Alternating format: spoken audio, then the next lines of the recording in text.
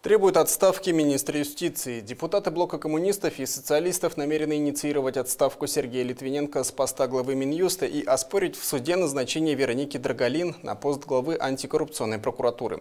Так оппозиция отреагировала на появившуюся в публичном пространстве переписку Литвиненко, которую сам министр называет сфабрикованной и вырванной из контекста. Депутат от блока коммунистов и социалистов Василий Боля сообщил, что уже на этой неделе в парламенте будет зарегистрирована инициатива по выражению вотума недоверия министру юстиции. Фракция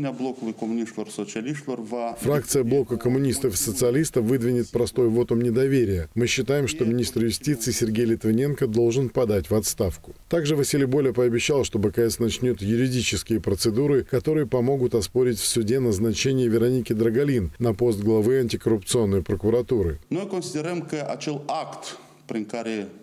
мы считаем, что акт, которым она была назначена на этот пост со стороны ВСП, сейчас обладает нулевой силой, потому что все действия, которые предшествовали этому позорному конкурсу, подтасовка оценок, все это обладает нулевой силой. В свою очередь, вице-председатель парламента Влад Батринча подчеркнул, что БКС не считает нормальным вмешательство в личную переписку. По мнению депутата, ее содержание говорит о том, что конкурсы на замещение должностей были сфабрикованы, а реформа юстиции подверглась профанации. Батринча также считает, что ситуация крайне сложная, но все еще исправимая.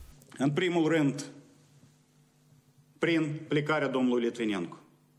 В первую очередь отставка господина Литвиненко. Я сказал на прошлой неделе, что в некоторых ситуациях лучше уйти самому. Второе. Отменить результаты всех конкурсов на замещение вакантных должностей в системе юстиции и прокуратуры. Этот процесс был скомпрометирован. Третье. Министру юстиции нужно исключить из состава Высшего совета прокуроров. Напомним, ранее министр юстиции Сергей Литвиненко признал, что его аккаунт в телеграм-канале взломали и заявил, что некоторые из его разговоров урезали и вырвали из контекста. Также глава Минюста на своей странице в социальной сети Facebook написал следующее.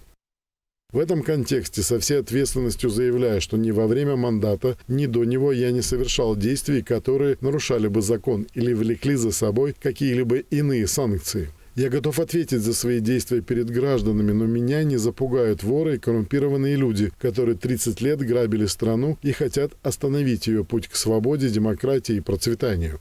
В свою очередь в антикоррупционной прокуратуре заявили, что не будут комментировать провокационные сообщения представителя ПСРМ, в том числе обвинения в фальсификации конкурса на должность главы ведомства. В ответе представителей ведомства журналистам портала Дискиди сказано, что антикоррупционная прокуратура оставляет за собой право не комментировать сообщения с провокационным тоном, распространяемые в публичном пространстве.